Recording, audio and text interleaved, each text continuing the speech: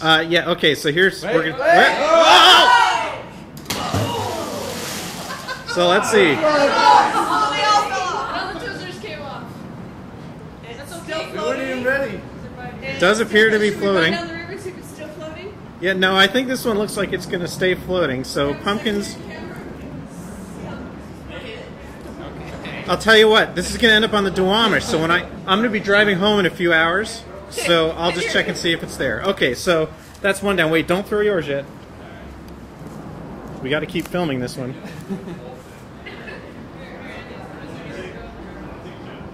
Yeah, it's still floating.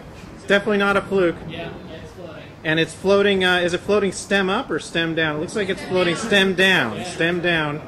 So, important answer to that question, too. So, bye bye. Bye bye, pumpkin. okay, the next one. Now, this pumpkin is our control pumpkin. This pumpkin has, wait, wait, wait, show the hole, show the hole. This pumpkin has a large hole in it. And he has a message. And he has a message because he's very unhappy.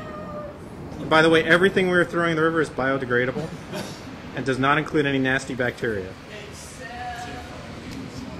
Here we go. Launching.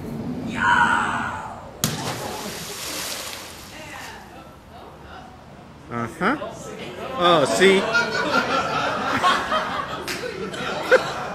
that looks like a very scared pumpkin now. Oh no!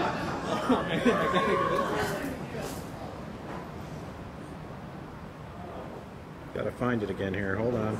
There we go. So, one very sad pumpkin floating to its doom. And unfortunately, that doesn't really give us any information at all. So, another good bit of science, and pumpkins do float. And which way do they float?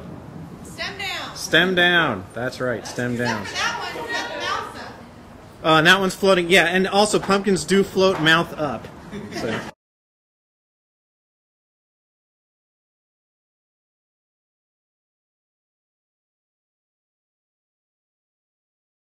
Oh no, here it comes. Oh, you're right. See it? Okay, wait. Here comes the pumpkin. Where? Oh, there it is. The pumpkin, folks.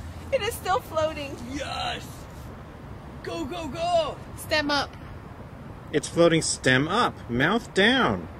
And it's Oh no, no, it's still Mouth mouth up. I can see its little eyes. I can see its little eyes there, uh-huh. watching as it goes the, by. The sweet tarts have fallen off. Bye, buddy. So it might not get much further. See you later. Enough.